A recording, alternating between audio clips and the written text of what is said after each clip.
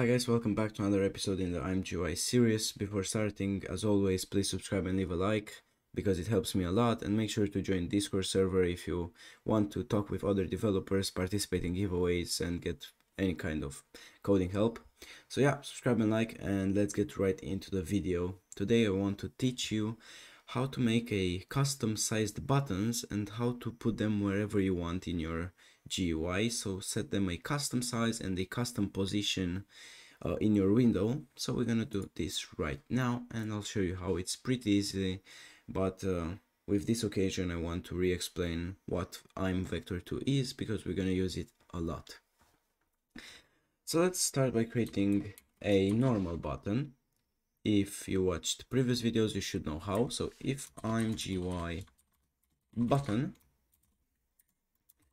let's give it a name as we did for the one here, right? I'm going, let's say test, right? So we open. So now we have a button called test.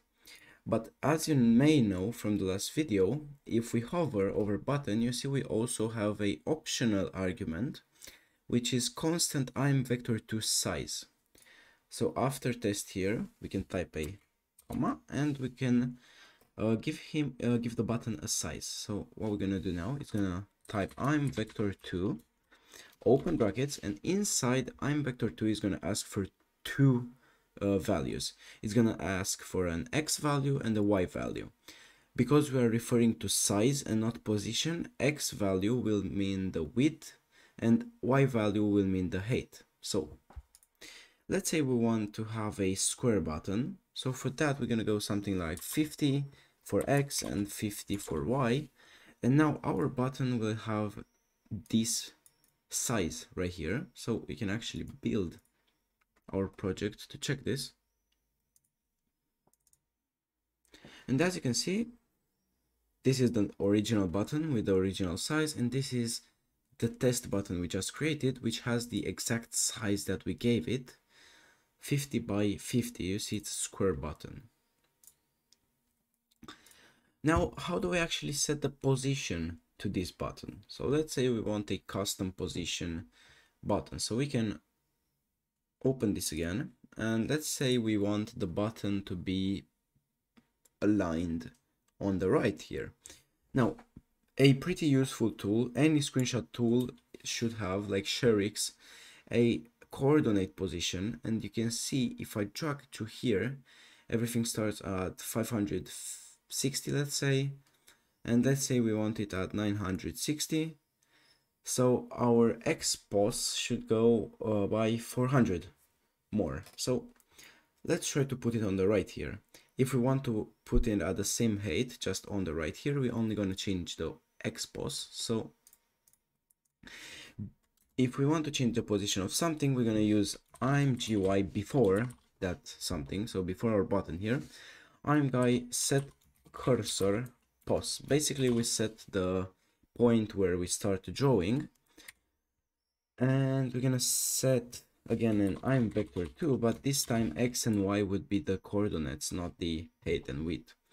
So let's say we want 400 for the first value and the height, let's say 100, right?